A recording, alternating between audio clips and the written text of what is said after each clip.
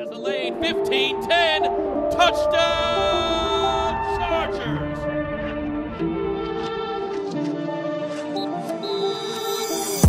What's up, guys? Welcome into a brand new episode of Chargers Weekly, post Super Bowl edition. As always, joined by Matt Money Smith, friend of the show, Jeff Miller, LA Times, joining us, Money. We always love having Jeff on.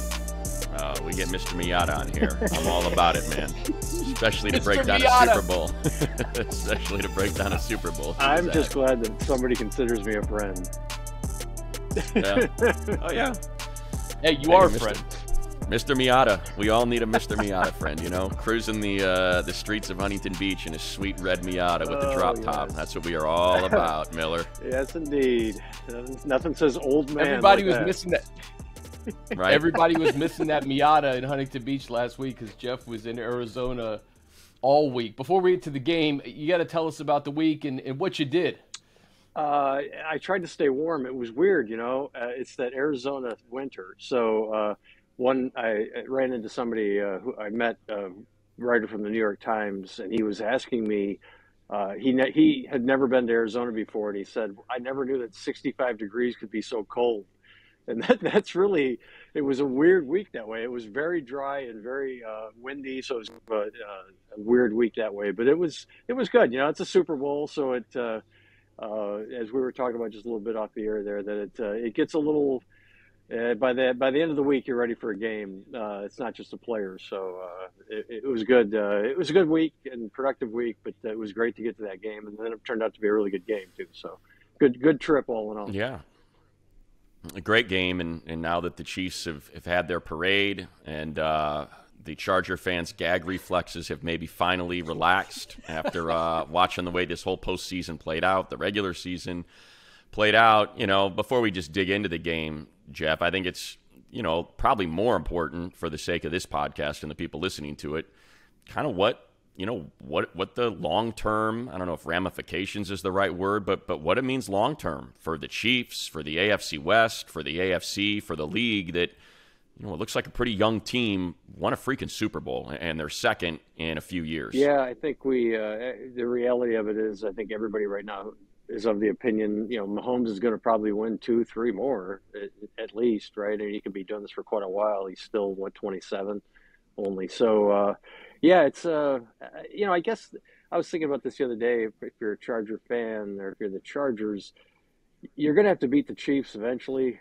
Uh, You know, even if you're in the other conference, probably. So unfortunately, they you know they're they got to play them twice a year, and uh, they they kind of own the division right now. But you know you're going to have to beat them anyway. So I guess if you want to look at it from that perspective, you can't really avoid them, um, and, and they really can't. But it, yeah, this the Chiefs they they look really good, and uh, Andy Reid doesn't sound like he's going anywhere anytime soon. So yeah, they're they're going to be a problem for the rest of the league for a while. It looks like. Jeff, I, I look at how they won the game, and obviously it starts with Mahomes, but just some of the young guys that they've they've recently drafted or acquired, right? You know, Bolton gets that that uh, scoop and score for a touchdown. Kadarius Toney had one of the or two of the big biggest plays of the game that that punt return and the touchdown. Uh, Pacheco, they really leaned on him. Um, the fact that this team is young and they relied on a lot of rookies and they have the ability to kind of reload, I think, offensively in terms of the wide receiver position. Um, I- guess what what lessons can the Chargers take from this season and, just what the Chiefs are doing and how to beat them? The, the Chargers are always so close to beating the Chiefs. It always comes down to like a three point game or a one possession game. Yet they can't get over the hump, and it looks like the Chiefs aren't going away. Yeah, I heard after the game uh, the next day, I think someone on the NFL Network said the Chiefs had 24 new players uh, from last season. And we all know, remember when Yeah. Tyreek Hill uh, left, we all thought, oh boy, the Chiefs are, just came back to the pack. And it, I think it just comes down to really, uh, they, you know, they're, they have a really special quarterback. And I, it, it just makes such a big difference. And it, it's almost like it doesn't really matter. Uh, all his weapons are going to be better because of Patrick Mahomes. And you look at, you mentioned the young guys, Pacheco, Isaiah Pacheco, 21 running backs were drafted before him. Uh, it seems remarkable when you watch that, watch him play this season and watch that game and how hard he runs and how fast he is. How is it even possible? And uh, you know, guys at Rutgers, I, it's hmm. it's bizarre to me. I don't know how that works. And the Chiefs seem to find these guys, and they they show up there, and it, it, part of it I think is a scheme. Part of it's Andy Reid, you know, and Eric Bieniemy, that offense, and I think a big part of it though is just it's just Mahomes, and he just he changes the dynamic of the whole the whole game when he's out there, and even you saw him he's limping around, and he still is just he's just a unique weapon, and there just aren't you know there haven't I don't know there's ever been anybody like him in the NFL, and I don't want to turn this into like the guy you know is is like Jesus out there running around, but it it really. It, there's he just he just changes everything and everybody around him is better because of him and um, it, Uh, it's just he's he's the riddle that everybody's got to try to figure out for a, a, bunch of more years. It looks like. Yeah, you know, I, I think there's a few things there, Jeff. One is you know, and, and this is something we've talked about on the pod before. And I, I, know, you know, I've asked Coach Staley about it, and he got a little defensive when I did. But the Chargers need to learn how to win. That's what the Chiefs do. They they know how to win. You know, when they are trailing in games, when they're down double digits, they know how to get that score that they absolutely have to get to make sure they're within striking distance in the fourth quarter. And it doesn't matter if it's 13 seconds in the AFC Championship game last year or if it's five minutes in the Super Bowl, they just know how to win games. And yep. to me, that is that is the one thing that this Chargers team has been missing the last couple years is, you know, they have the lead at home on on Thursday night football or whatever that was, Sunday night football against the Chiefs with two minutes left and they can't close the deal. They're in Kansas City and the pick six. Like that's to me, that's and look, I don't know how you coach that. I don't know how you sign players to do that, but that to me is the one thing that the Chiefs do um, that is very reminiscent of the Patriots. It, doesn't matter if it's 38-35 or if it's 17-13. They're they're always on the right end of that score. And and I think the second thing that that you got into there, you know, was these offensive players that they plug in are ready to perform. You know, if it's Marquez Valdes, Marquez Valdes Scantling, if it's you know, they, they trade for Kadarius Toney, who was who became an afterthought for the Giants, and he has that that killer. Like they know their personnel, and they have a play caller that you know makes those play calls for his personnel, and it befuddles their opponents. I mean, you've got a defense that you know, and we'll get into this a little bit more, but like when you have a defense that was effect as effective as the Eagles were all season long, and you see two guys wide open for touchdowns in the Super Bowl, I mean, wide ass open, you know, yeah. by 10 yards, that speaks to play caller, quarterback, execution, doing what your players do best. And I, I to me, like those are the takeaways, Chris, that, that I see from that Super Bowl and, and what the Chargers can point to. I don't know what the answers are, but because I don't know how you answer, well, how do you win? But I think that's that's got to be it. Like, what are we doing wrong in the critical moments of games where we lose these games instead of win these games? Yeah, and Jeff, I'll ask you this too because you know Money alluded to it. Also, zero sacks. Uh, the the Eagles had seventy sacks this year, zero in that game. Uh, when the Eagles got up in Arizona and, and they looked like they were going to run away with it for a minute, uh, what were your thoughts, Jeff? Because you've seen this story too many times to know that the Chiefs were out of yeah, it. Yeah, I think Money hit it right on the head. It's just, and I think that again, I, I just keep, you know, I'm going to put a halo over the guy's head here, but it, it's Mahomes again. Like we, I mean, you always hear this, and I, I think it's true. I, I think they really believe with Justin Herbert. The Chargers are said for three years now, as long as we've got him, we're in the game. We know we're in the game. We know we're in the game, and I think they really, they really believe that. The difference is with Mahomes, there's such a track record now that that everybody believes it. Like the you just the other team believes believes it. You know, you, at the end of the first half, okay, it's a ten point game. Mahomes is my I, I have my binoculars trained on Mahomes leaving the field. I want to see how badly he was limping. He's limping yeah. off the field. They're down ten, and I, remember at the time thinking this, this I, maybe he's done now. Maybe this is it. You know, maybe with him being yeah. hurt and then you saw what happened. They come out in the second half, and they literally, they Eagles literally cannot stop them. You know, three straight touchdowns. One obviously was after the punt returns, very short field, but three touchdowns. And The fourth time they get the ball, they take up the last five minutes. They get the help with the holding call. But I mean, five minutes to go in that game, two timeouts for the Eagles. I didn't think there was any chance that they were going to run that ten, that five minutes off the clock and give the Eagles no time. I thought they're going to go down, they're going to do something. Now we're going to see if Jalen Hurts can finish the game and either win it or send it to overtime. And you know, all they needed was a little bit of a break, maybe with that holding call, and that's all. It, and they they were able to kill the rest of that five. That's just to be able to do that at the end of the Super Bowl is you know, and that's a tribute to the whole offense, the offensive line I mean, just that was ridiculous. Five minutes to go, the other team has two timeouts, and the Eagles. You saw what they ended up getting. You know, they had one last ridiculous chance for one play. That's uh, it, that was such a performance that second half. It was almost a perfect second half that the Chiefs played. Just really impressive. Money, it's exactly what you said. It's, of... it's, winning plays. It's winning plays, money, right? The Jerick McKinnon well, sliding it to one. Yeah. Yeah.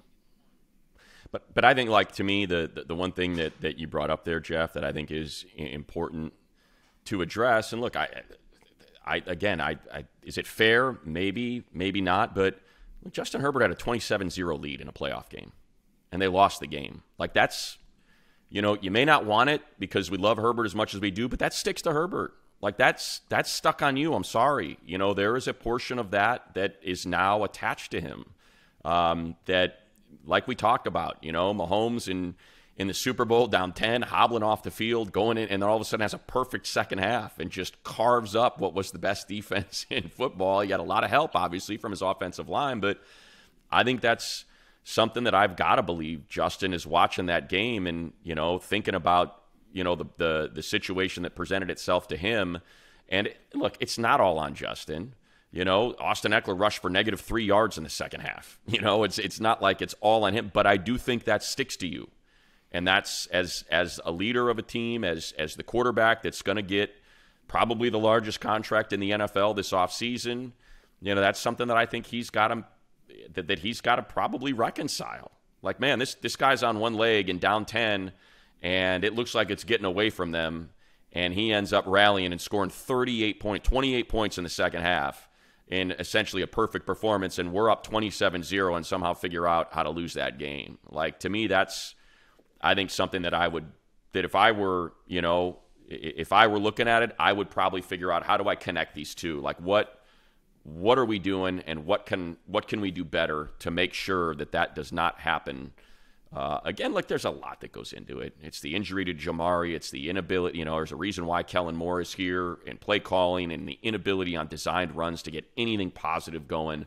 Um, but when I and just like expanding that, Chris and, and Jeff, like when I watch the performance from Jalen Hurts, you know, and just willing to do anything and everything to get that last yard, to get that single yard, and the way that Steichen, you know, and the way that Coach Steichen, and we and like that's something I hope Kellen Moore gets back to.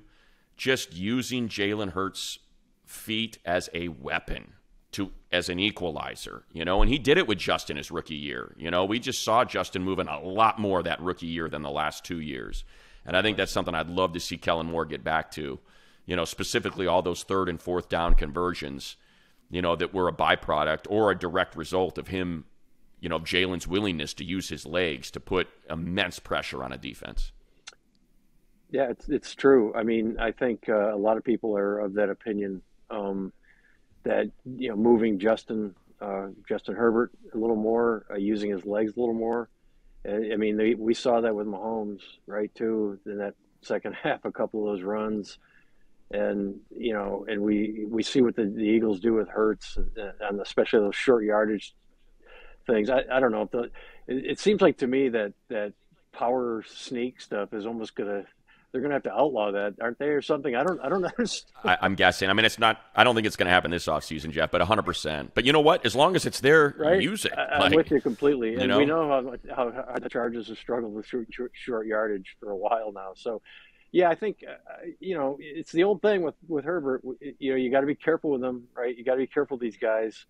Uh, but you know, Josh Allen seems to do it, and he and Herbert are very similar. That you know, structure status wise, you know, their physicality very similar. So I think uh, I think the Chargers. Uh, I would be shocked if, uh, assuming you know, as long as Justin is healthy and isn't dealing with the the, you know, the rib stuff and the shoulder stuff, where it could be something significant. I, I think that. Yeah. By the way, where did he get hurt? Where where did he get hurt, Jeff? Did he get hurt on the run or did he get hurt yeah, in the pocket? Yeah, yeah. So Yep. No, You know? exactly. so I, I think, yeah, I think the, uh, you know, you're hearing a, quite a bit of rumblings of that here the last few weeks about after the Kellen Moore got hired that that's something they, they need to get back to, and I- and I think uh, I think we will see that. a couple things that stand out to me in Justin's career that that run in the Rose Bowl and then that Sunday night game against Pittsburgh where he ran all over the field because they were giving it to him and it was partly the reason they won that game. Um, Justin didn't run as much last year and, and you're right maybe it's because of the ribs and the shoulder but that's a weapon on this offense that needs to be utilized more and, and I just wonder how it's going to look next year. Um, Jeff uh, Doug Nussmeier is now the quarterbacks coach. Was with Kellen Moore in Dallas, and he has an interesting background. A lot of a lot of uh, stops in college. I think he interviewed for the Ravens offensive coordinator position. He was also linked to the Miami offensive coordinator position with Justin's former coach Mario Cristobal, but uh, comes to Los Angeles with Kellen Moore. Um, I guess your thoughts on that hire. It probably makes sense to link the offensive coordinator and the quar- quarterback coach from a different stop um, and maybe make that offense a little bit more translatable to Herbert. Yeah, I, I think uh, my take on a lot of these position coaches, especially, um, you know, because people always, uh, you know, they this this position coach is in, what does it mean now? And um, a, a lot of this, I, I, a lot of these guys are they're all really good coaches. And I don't think they would be in the NFL if they were a bad coach. But it, it, to me, it, it comes. It always it's the same thing. It always just comes down to the players.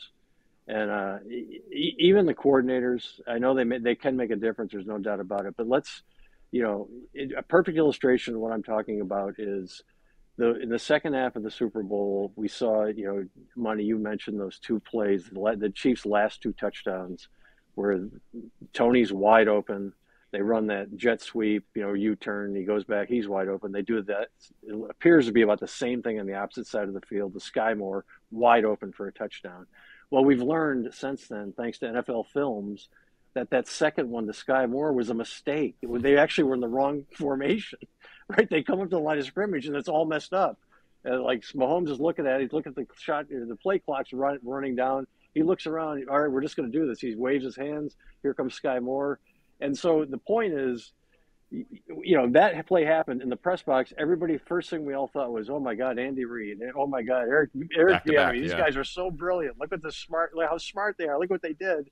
Come to find out, it was actually they Mahomes claims he called it right. They lined up wrong, and the players just said, "Okay, we, we're going to figure it out anyway." Mahomes, we're going to go through it anyway. We don't have time for anything else. Let's just run it. I'm going to do this instead, and it, it turns out to be a great play. The players make that play. The point is, as much as we want to give the, all these the coaches, and it's like, like a big deal. They got this guy. They they got that guy. Uh, it really does come down to the players. Now, having said that, yes, I mean, there's no doubt that these coaches do make a difference, but it, it's uh, you know in terms of what like a quarterback coach is going to mean for Justin, it's really hard to tell until they they get out there and they they get on you know in practice and they get in these meetings. Um, I, I think the connection between Moore and Nussmeier is obviously there um, since they've worked together. So I think that that you know that that's going to be seamless, obviously. And with Justin, I mean, come on, you guys, we we could coach him, and he's going to be a really good quarterback, right? I mean, it's not. Um, uh, it's not that hard to be a really good coach when he's your he's your quarterback when you have a player like that. So uh, we'll see. I, I think uh, you know the, I think we're all hoping for a little more creativity with this new uh, offensive uh, coach, this the coaches on this offense now. A little more creativity, a little more ingenuity. Um, you know, some of the motion pre-snap stuff. I mean, we talked about Herbert moving a little more. I think we're all hoping that and expecting to see that. But we'll, um, you know, we'll see when, when when this really gets into motion what it, what it looks like. Yeah, I think you know, for me, Chris, it's I just want someone to challenge him. You know, I think about you know Brady on his retirement tour, and you know talking to you know Jim Gray or whatever on his podcast, or, or Peyton Manning talking you know through his broadcast with his brother. Like there's a commonality there, and they always say like I didn't want coaches that that coddled me. I got them out of there immediately. I need guys that are telling me what I'm doing wrong. Like I need dudes to challenge me, and, and that's what the great ones want, you know. And um, Yeah. look, I, I'm not in the room. I don't know if if Shane Day and, and Joe Lombardi were a little too easy on on Justin, but I, that's that's what I would want from a quarterback coach. You know, as someone saying, "Hey, you know why why are you dropping your arm angle so much? You're six foot six, man. Let's the sidearm stuff. I get it. There's some sweet plays in there when you're wrapping it around, but man, when you're you're dropping that slot repeatedly." Let's let's get away from that, dude. Let's let's use that stature. You know, let's use your levers and let's get that thing. I, like that's that's what I think you want is someone that's confident. And I think the key with Nussmeier is that he and Kellen have been together. So it's not someone, you know, whereas Shane Day and Joe Lombardi, they're coming from two different places, you know, and I think maybe there right. was this sort of, I don't want to call awkwardness, but a, a, warming up period. You know, am I overstepping my bounds by getting with Justin? Is you know, am I am I supposed to be? You know, so I think the nice thing about bringing in Doug with Kellen is they've already done it. You know, they did it with Dak, they did it with Cooper Rush. Like they've, you know, they've worked together. So I think that's if they have a good cop bad cop routine, whatever it may be, you know, that already exists. There's reps there. So that's what I, you know, that's one of the things I like about the hire. And I don't think just, you know, look, Dak was a fourth round, you know, was fourth rounder. You know, became an all became a Pro Bowler. You know, led the league in passing. So it's it's clear they can coach guys up. You know, Cooper Rush went undefeated, right, or three and one, whatever it was. So we know they can coach. Um, you know, I think I look at the you know I, let's just talk about you know kind of the, the, the Eagles and the the Cowboys. These are two teams that had I think I want to say they're the two most, or if not two of the top three, I think most rushing first downs in the league. You know, and we talked about that getting connected, and you saw how important that run attack was for the Chiefs in the in, in the Super Bowl. You know, so I, I think that's something that you know we, we focus so much on on Justin. I think it's so important to focus on the rushing game, specifically designed rushes. And you saw what that was able to do for the Eagles, the way that the Shane Steichen, you know, and Nick Sirianni called Sirianni called that game. You know, they got eight minute drives. They got seven minute drives, these scoring drives that are just taking a ton of time off the clock. And that's what you got to do. Um, because, you know, and I guess this is as good a time as any to get into it. Like, I don't, I don't want to hear about defense anymore. Like, I just, I don't, I don't care. You know, I don't care. I, I it's like, it does not matter. It just doesn't. It, it doesn't matter. It, the, these offenses, the way games are called, yeah, I don't. I, it's 38 to 35. you yeah. know, the, the Eagles put 35 up on the Chiefs with the number one defense, and they lost by three. Like, I, you know, the Bills had the number one defense, and Joe Burrow went in there and carved them to shreds. So, like, to me, this offseason, you know, go get as many weapons as you can. Keep getting depth on the offensive line. Get me a new tight end. Get me a speed receiver. Get me another running back. Just freaking load up on offense and uh, whatever. Figure out how to coach it up, Brandon, because I, I just, I, you got to score 35 points to win these games. Like that's just the reality of it. Your offense has got to be able to put points on the board when they absolutely have to. I think moving forward, that's just what the league has become. And the reality is, Money, with Justin Herbert, you should be scoring 30 yeah. plus points a game. Like no, no questions asked. And I, I love the, the, the comparison to like I, I think of Bill O'Brien and Tom Brady cussing each other out on the sideline. Yeah. Like, that's what made Tom better, right? Is to be challenged by a guy. So you you hope you see that. Um, let's take a quick break and let's dig in a little bit more uh, on, on, the offense. What changes could be coming, and what maybe free agency in the draft will bring. All right, guys. A big thank you to our partner Microsoft Surface, celebrating 10 years of partnership with the NFL. As the official laptop, tablet, and sideline technology provider for the LA Chargers. Microsoft Surface provides players and coaches with the tools to succeed both on and off the field every day. Learn more about Surface at surface.com. All right, Money, you teed it up perfectly. Let's talk offense now. And, you know, the Chargers are going to have some decisions to make uh, on both sides of the ball with, with Khalil Mack and, and Keenan Allen. Um, I think they need a tight end. I think they're going to need a speed receiver. I think they may need another running back to complement Austin Ekeler. Jeff, I'll start with you. Uh, where do you begin in terms of reloading this offense? Well, I think we all got have to figure out Keenan Allen's situation, right? That's that's kind of the the one of the linchpins here, um, and then then we go from there. But I uh, I will tell you when they after the Kellen Moore hire, um, that next day, the, the story I wrote about had nothing to do with Justin Herbert. I wrote about what does this mean for the running game, because I think that's where this uh, that's that's going to be the key for the this, the Chargers in 2023. We we know Justin Herbert's going to be fine, You know, as long as he's healthy, they're going to be able to throw the ball, and they're going to put. He's going to put up big numbers and and Pro Bowl type numbers. The key to me is is running the ball, and I think you've uh, you know you, you the offensive line you you can't invest enough in the offensive line. Um, when you look at the Cowboys, you know Kellen Moore was there. The Cowboys' offense was really good. Well, their offensive line was really good. What do we always hear about? We hear about the Kyle Shanahan offense. We hear about Shane uh, Sean, Sean McVay's offense when those offenses are really good, what are what the 49ers, what's really great about the 49ers is their offensive line. When the Rams won the Super Bowl, they had a really good offensive line. They lost a bunch of that offensive line and they stink. Okay? You look at the Chiefs, the Eagles, those both those teams have really good offensive lines. I I I, under, I get it. I, I think they need more speed, absolutely 100%, especially on the perimeter. They need more speed. But they need to figure out this running game and they need to be able to run the ball. I'm not saying they have to lead the league, but they've got to be a threat to run the ball. And you saw it when the, you know Kellen Moore with the Cowboys. They had you know two and Ezekiel Elliott and Tony Pollard, two really good running backs, and they yeah. you know they they were able to run the ball. So that's what the Chargers Chargers need to be able. They need to figure out a way to run the ball efficiently and effectively. And I, if they could have run the ball at all in the second half of that that playoff game in Jacksonville, they probably win the yeah. game. So to me, you know, the, the big the big question is Keenan and what's going to happen there. But in terms of rebuilding or, or beefing up this deep offense, I, I, I just, I you know, you got to you got to be able to run the ball, and I think that's the offensive line, and and part of that too. Obviously, they're going to get Rashawn Slater back, so that's a big a big plus. But, but you know, they uh, you know, if they they get another tackle, I mean, that'd be great. I mean, Trey Pipkins was was good, and I, I mean, I wouldn't be surprised. I mean, we're talking about you know they don't have a ton of money to work with, unfortunately. But uh, to me, it's like the the next few months here, they've got to figure out this this rushing game and and be able to run the ball next season because that that's going to be the, I think the key to to this offense. You know, money talks about putting up points. That's that's going to be the key is if you can run the ball, and all of a sudden now it it makes Herbert even that much better.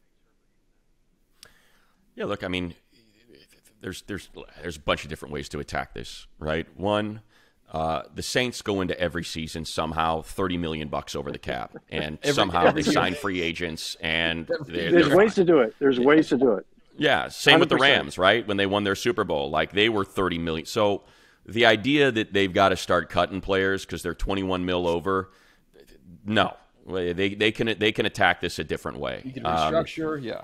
Exactly. You can convert salary into signing bonus. You can add bogus years onto the back and, you know, lower that cap number and, and end up adding a little bit of money up front for these guys.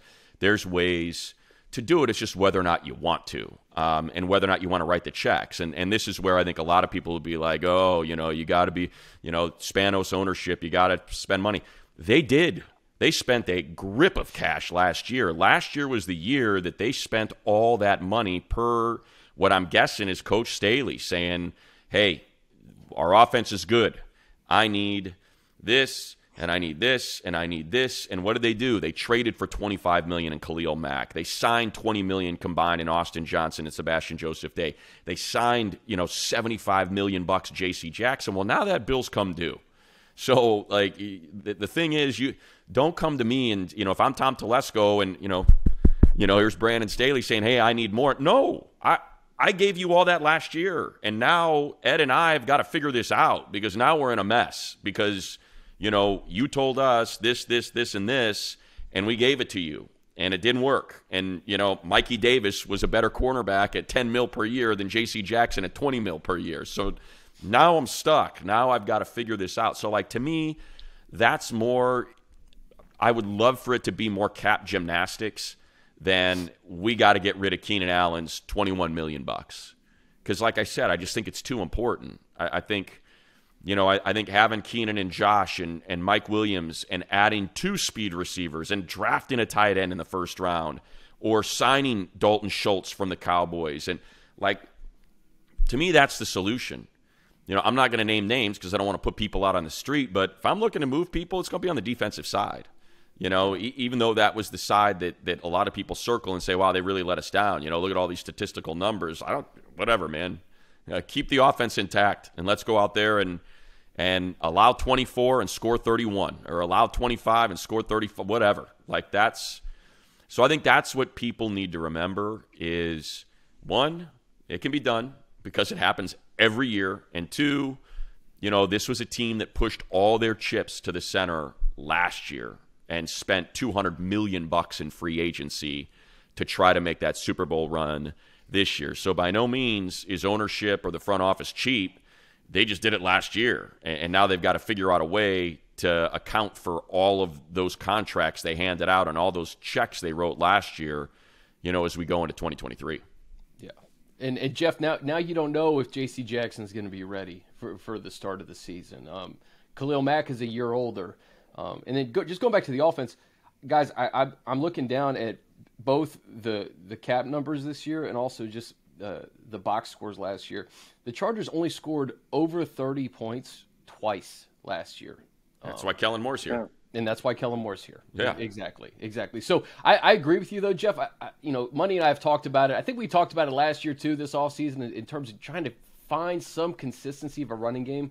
What I loved about what Shane Steichen and the Eagles did was every single week Jeff was different. It was either a run heavy game or it was like we're gonna we're gonna air it out to DeVonta Smith and, and AJ Brown. And and I feel like the Chargers they need to establish that type of identity on offense. But yes, it, it runs through Justin Herbert. But if there's a game where we can rely on the running game to beat you and then have Justin hit you over the top with play action or whatever the case may be, it, I, I, feel like the offense lacked that. It, it, was more predictable last year, and that needs to change in 2020. Oh, absolutely. I mean, the other night uh, uh, after the Super Bowl, we're down there. I'm down there with uh, Nick Sirianni press conference, and one of the first questions was about the lack of a pass rush, and the first thing he said was, "Well, they ran the ball." You know, that was that. You know, look what they ran. They ran for like 150, didn't they? You know, and and that you know, yeah. again, it just goes back to that's the importance of it's. It's not just look at we ran for this many touchdowns or this many yards. It's because we ran. All of a sudden now, we weren't able to pressure the quarterback as much because you know we got to we got to look at Pacheco. Is he take off? You know, Mahomes is a threat to take off. So, so it, it, this, like, it's it's. It, you know, football's been around for a billion years, right? And for a billion years, they've been hmm. talking about you got to run the ball, you got to run the ball. Well, Stop the yeah, run, run the ball. It you know, we're not we're not inventing anything new here. It's just it's just a, that's the way this game works. And you know, you guys. I mean, you guys watched the games last year. There were times I, I wanted to scream. It was so it was so hard to watch these guys try to run. It was ridiculous. They just it was impossible. They couldn't run the ball. So many games where I mean, they weren't even a threat to run. You get into the second half and there was zero threat. You know that last game in Jacksonville. There was there was no threat of them running the ball in the second half of the game. It just it's hard to watch, you know, and you, and you see what it does to the entire offense. Just grinds to a halt when you aren't a threat to run the ball, and and the, the other team knows it, and they they don't even have to worry about you running the ball. Even when you got a guy, look how productive Austin Ekeler is, and he can't, you know, he just can't do anything, and you, that that's got to get fixed. Yeah, and I think that's look, it's a product, uh, and again, it's why Kellen Moore is here. It's also a product of all the checkdowns and just all the sticks and all the yeah. curls and yep. all the comebacks. So if you watch, like if you go back and watch every game and you start watching the defensive alignment, they're not afraid like like they were two years ago and especially three years ago. Three, you know, when Herbert was a rookie, they were terrified oh, yeah. of his arm. I mean, terrified. You had too high, way deep and and now you can run into that. You know, same thing last year, not you know not 2022, but 2021. You know, so you because you're taking those shots. And this year they took almost zero shots. Like every, I can't tell you how many times we're calling the game, and DJ's like, you know, it's a perfect spot for a shot play. You can kind of see the alignment, and you know, I'd love to see that play action bootleg and Herbert, you know, just throwing across, and it's a check down for three yards. And so I, I think you know, going back to your question or your point, Chris, about you know the coaches and Doug, Doug and, and Kellen, like they got to get Justin back to what makes him different from everybody else in the league, and that's he's got this freaking cannon that no one else has, and he can he doesn't have to like. I think that's what people don't. They're like, oh well, look how far this ball traveled for just pick your quarterback, Tua or, or whoever. Justin doesn't have to set up. He doesn't have to drop and he doesn't have to, you know, jump into those balls to push him down. You can have a pass rush coming in his lap, boom, and he just snaps it and that ball goes 50 yards on a rope. Like that's the difference, you know, where you don't have to have these deep drops and he doesn't have to crow hop into it to push it downfield. You get a 4-2-5, 4-3-5 guy out there and he's taking a five-step drop. That guy's got his guy beat, boom. You know, those those are the plays that they were missing that led to an ineffective run game. You know, so now you've got all you you've got secondary playing press, you're playing press man, you know, your corners, you've got safeties that are crept up into the box because they just don't they didn't fear it. So I, I think there you know, there's again, I don't mean for this to be a pile on Joe Lombardi podcast. That's not my intention. It sort of sounds like it, but it's like you can't run into stacked boxes. You know, you can't run when when Foster Sarell is your right tackle and and Zion Johnson's your right guard, when you've got you know Salyer and and Feiler and and Corey on the left side, like that's what was working, like or or or run it to the right side when it was working with Trey and Zion. There were games when it was just befuddling, you know, what plays were being called on those designed runs. So for me, like I feel, you know, I feel like and and man, I tell you, we talked about it already, Jeff. I'll just, you know, kind of throw this to like to me one of the big I think you brought this up, Chris. You know, like one of the great mistakes, you know, I, I hate saying it, but one of the great mistakes of the season was why why is Isaiah Spiller not your featured back in week 18? I got to see what this guy can do. Like I, have got this game means nothing. It means nothing. Give me Isaiah Spiller for 20 touches and let's call some designed runs and let's take some shot plays to open it up for him so I know what I got because I have no idea what I got. Yeah, I mean, we still don't know, right? We have no no clue. I mean, now everybody. Yeah. He looked great at A and M, and now everybody's talking about they're going to, you know, maybe they should draft a running back in the first round. Here we go again. Yeah. I mean, I've covered this team since 2018. I think they've taken a running back every year except one in the draft. We've been down this road, and you, these, they they draft these guys, and we never really see them again. Um, so I, I, I would think a lot of people thought we'd see a Spiller at least at, at least out there at some point, and we, and we just we didn't. We barely saw him at all this season, and and you know. You, you know, you talk about the shots, and you know that. I mean, we all have seen it a million times, and uh, not a million times, but we've seen it enough where you know Justin, you know, rolls out, stops, looks back, and throws. But you know, when Mike Williams is the only option on that, it's not the same. Like I know Mike Williams, yeah, he's he can make those he can get those 50-50 balls and all that and he can throw it up for him deep. It's not the same as having a speed guy who can run by people, even if it's Jalen yeah. Guyton who can run by you. Like we, you know, it's just not the same. And they can they can they can reference Mike Williams and, and, and that's a great option to have and to know that he can, you know, Justin can just throw it up there at times and he needs to, and Mike can make make these ridiculous catches. But it's not the same as if you have some if you have speed out there, and the, that you know, we did uh, Eric Smith, uh, you know, the Chargers.com. He, we did a mailbag kind of thing, and what's what's the most important thing this team needs to add? I, I said speed. You know, that's that's what this they need to get faster. And I mean, yeah. there, there's no doubt about that. And and you're right on, money. If they, you know, when you have that speed outside and that threat, it does. It's going to loosen up the running game. It's it, it just does. That's the way football works, and the, and they have to get they have to do something. I mean, we we talked about it last off season. They never did. There's no way they can make that mistake again and go into the season thinking, okay, Mike Williams is our deep threat. I mean, that's not going to work. They need they need actual speed. Guys, I'll, I'll, pose this to both you guys. Um, we were talking about the cap, and obviously, we know Justin Herbert's going to get paid at some point, but uh, there are a, a, number of quarterbacks in that same boat as Justin Herbert. Uh, two of them have been to a Super Bowl, and, and Joe Burrow and Jalen Hurts. The other one, Lamar Jackson, was MVP of the league. So I think it's an interesting offseason to see which domino is going to fall first, where Justin falls in line with that, and how that affects the cap. Now, Tom Telesco has been steadfast in saying that – he doesn't really buy into the rookie window for the quarterback, and you know there's things you could still do. But Jeff, I'll start with you. Uh, where do you think that that falls in line in terms of Justin and these other quarterbacks, and how much wiggle room do you think it gives the Chargers to get the weapons that they need to to, to kind of help Justin be at his Uh, best. well, yeah, I mean, money said it. The, these teams seem to figure it out. Other teams do it, and they figure it out. And they uh, so Yeah. there is a way around it. And we, we know there's a, a path to take. But I'm I'm interested in what you guys think.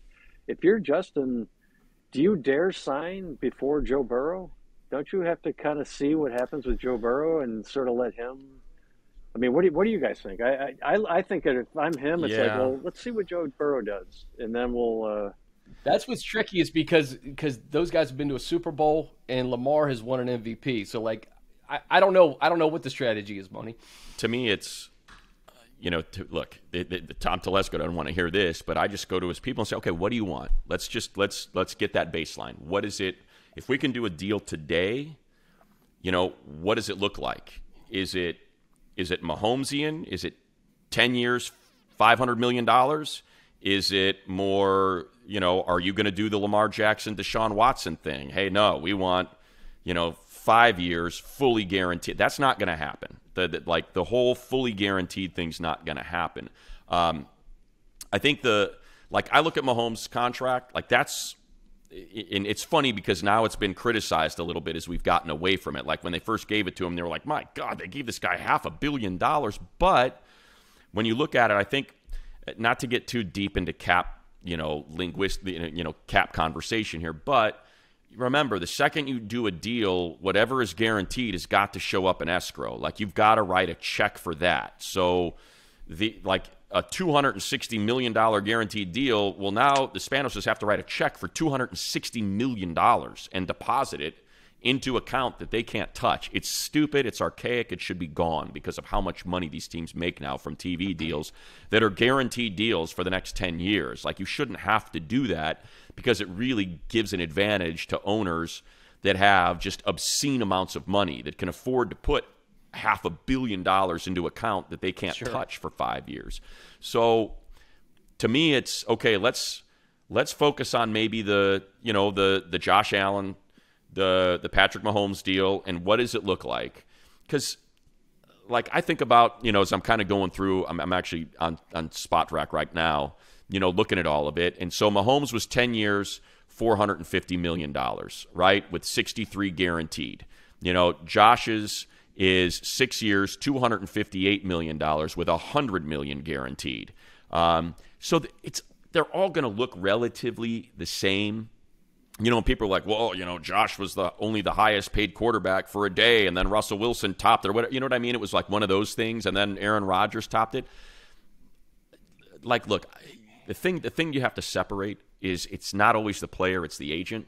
So I don't know how Justin's agents want to operate this, but I think if you can just make Justin the highest paid player in football the day you do the deal, doesn't matter if Burrow passes it the next day because if he passes it, it's going to be by a million dollars or something, you know, that's negligible. So I, I think you figure out do you want it to be a Josh Allen deal, 6 258, 100 guaranteed? Do you want it to be a Patrick Mahomes deal, 10 500, you know, with less guaranteed? And, and that gives us a little bit more wiggle room with do we want to stack it on the back end? Do we want to stack it here on the front end?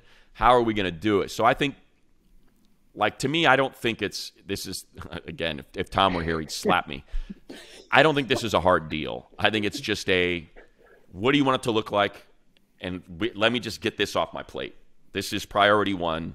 Let me get it off my plate. If it's you know if Josh is six for two fifty eight for an average of forty three, all right, fine. I'm gonna give you six for two eighty for an average of forty nine, and let's go get it done you know, and and 105 million at signing instead of 100 million, you know, kind of thing. Like to me, it's I just I don't think it's a hard deal because every deal falls in line. All of these quarterbacks are slotted. Like, okay, well, he was six for 258. All right, you're seven for two, or you're six for 280. You're six. Okay, now here comes Joe Burrow. He's six for 282. Oh no, uh, don't hire Justin's agent. He cost him two million bucks on his 282 million dollar deal. Like to me, that's just ultimately what this looks like. You ride you ride the wave of what year we're in, right? And that's what Kyler Murray did, frankly. I mean, Kyler Murray got paid because of because of the guys who got paid that year, right? So it's all going to be, I think, in the in the Yeah. same bucket. I'm just fascinated to see how it plays out and who signs first and who benefits from signing last. Um, that'll be stuff that'll that'll happen over the next few months. Yeah. Final thing because it ties your hands guys, with everything else, Chris. That's the thing. Yeah, like you've got to, you know, in order to get, to restructure everybody else because of escrow. Like, how much do I now have to put into escrow? How many of these contracts do I have to rework into signing bonuses? It, it, you know, converting salaries into signing bonuses and adding years. Like, I do not envy Ed McGuire at all and, and what he's yeah. got to figure out this offseason to, to put a Super Bowl contending team on the field while Justin's still on his rookie deal. Yeah, no question. And you you know these guys have worked behind the scenes. They know that this day was coming. Um, so, you know, we'll see what it looks like in a, in a couple of months as, as free agency gets underway. But I, I figured we may as well just get the entire landscape of the AFC West here, guys. And I'll get you out of here on this. And Jeff, I'll start with you. Just your thoughts on, on Sean Payton joining the AFC West. Maybe Rex Ryan's coming with him as his defensive coordinator. And Derek Carr officially released by the Raiders. And new quarterbacks coming in to Las Vegas. Could it be Rodgers? Could it be Garoppolo? Uh, your thoughts on what the other two teams in the AFC West look like? Yeah, you know, it's funny. Everybody talked about when the, the Payton deal happened with the Broncos. Oh boy, now the Chargers have to deal with that. Well, don't forget the last time they played the Broncos, they lost. so, so it's not yeah. as if they've beaten the Broncos ten straight times. So, uh, but yeah, you know, it, it's here we go again with the AFC West, right? Remember last year we were talking about how it's the best division of football and everybody's going to make the playoffs, and we saw what happened. So it's really hard to tell with these things. Uh, but certainly, you got to believe the Broncos are going to be better, and you got to figure Sean Payton's going to figure out something with Russell Wilson. The Raiders, who knows? You know, the Raiders always they seem to have a way of uh, raidering at the end of the day. You know, and uh, I, who knows what they're going to do with their quarterback thing? Obviously, uh, Aaron Rodgers would be a, would be very interesting. It wouldn't be a, that would not be a great development for the Chargers. Um, uh, so uh, it, it's just you know, it, we're just at the beginning of this. Uh, who who knows where this is all going to go? But uh, it's it's going to be a, a, a, tough division no matter what, just because the Chiefs are there, as we've talked about. So uh, um, we'll see what the Raiders. The Raiders are the one that's really the most interesting to me because they could kind of go either way on this thing. I, I think the Broncos are going to improve, and the Raiders, who knows? Yeah, Chris, I think the Raiders look.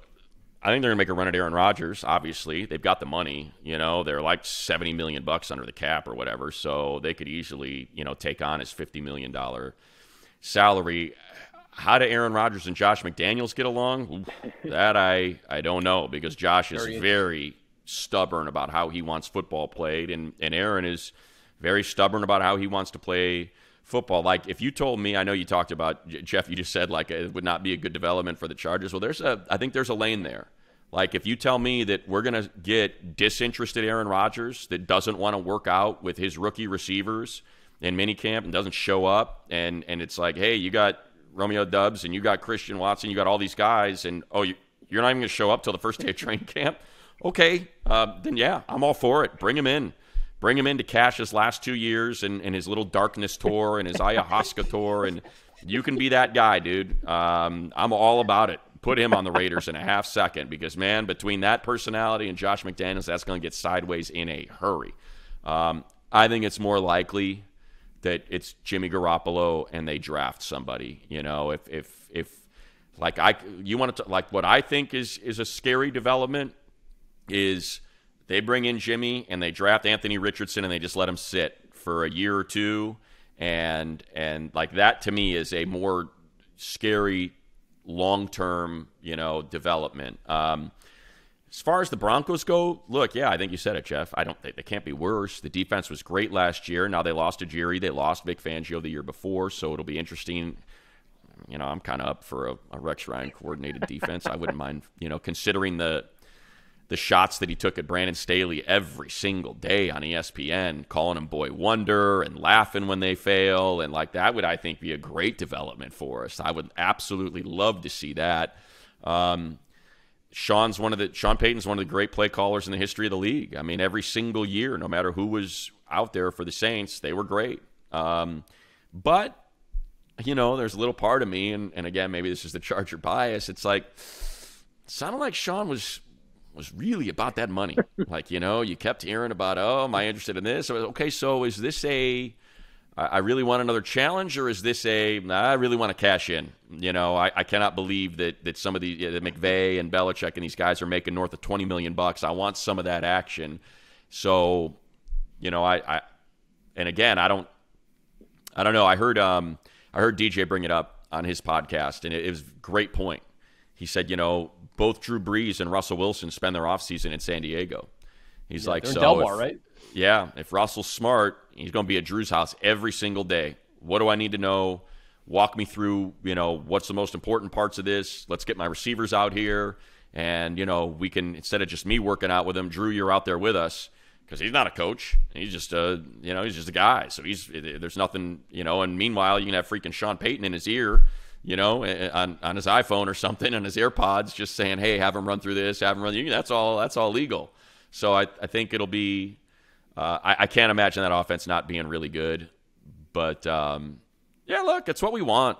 I say it all the time. Like I don't want it some crappy division. I want it. I want it. I want Aaron Rodgers in a Raiders uniform. I want Sean Payton calling the Bronx. I want it to be a heavyweight fight every single time in those six games. I think that's what makes football great. You know, when divisional matchups are that intense and that tight and everybody's good, it's so much fun. Yeah, and the Chargers were on prime time six times this year, and that's fun, right? The, those the, the big game feel 100%. for, for the division games. Uh, it's funny. I think Sean Payton said that Drew Brees was like uh, special assistant in Del Mar for Russell Wilson. Said that that, uh, that Russell's Yeah. wearing him out down there. Uh, That's great. So that's an interesting development. Javonte Williams coming back, Tim Patrick coming back. Remember, Tim Patrick didn't play at all last year, so Right. the, the Broncos going to get a, 4-3 a guy. couple, yeah, another a couple offensive weapons. Um, I, and I wouldn't be surprised if you know the Raiders, especially Josh McDaniels, with that long term deal. What if they draft a, a guy like C.J. Stroud, maybe move up in the draft and, and get a guy that they can groom for the next you know ten years? Um, that that could be interesting as well. But I wouldn't be surprised if Aaron Rodgers gets in that division. Um, it's fun. We're we- we're in February. We have no idea what's going to happen, but um, all the all the predictions ahead of free agency and the draft are, are always interesting. Uh, Jeff, you can you can end this podcast by giving us your best Super Bowl party story. I know you were hanging with Sam. Farmer. You you were at a party.